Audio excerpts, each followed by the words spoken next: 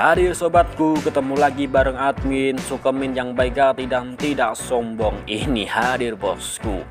TDM pernah berjaya membina meriam beruda yang satu ini untuk menjaga kedaulatan Malaysia. Senjata yang pernah dipakai oleh TDM ini ialah meriam FH-70 Howitzer 155 mm Menariknya, meriam artileri beroda GAR ini dibuat oleh tiga negara bos seperti Britania Raya alias Inggris, Jerman, dan Italia. Senjata ini mulai dioperasikan sejak tahun 1978 sebenarnya sampai saat ini masih bisa dibina.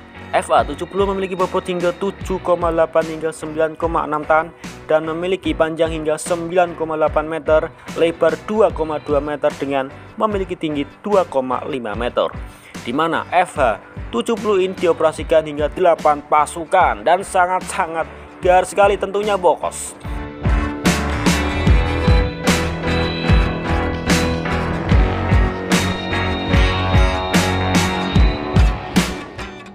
Senjata ini memiliki kemampuan tembakan 3 putaran per 15 detik dengan kecepatan tembak moncong hingga 827 meter per detik dan saat menembak musuh meriam gahar ini bisa menghancurkan target pada jarak 24 hingga 30 km jauhnya. Seperti biasa, meriam ini memiliki peluru berkaliber 115 mm dan menurut sumber, Malaysia pernah memiliki senjata ini setidaknya hingga 15 unit bos. Bagaimana menurut Anda, Sobat Komando?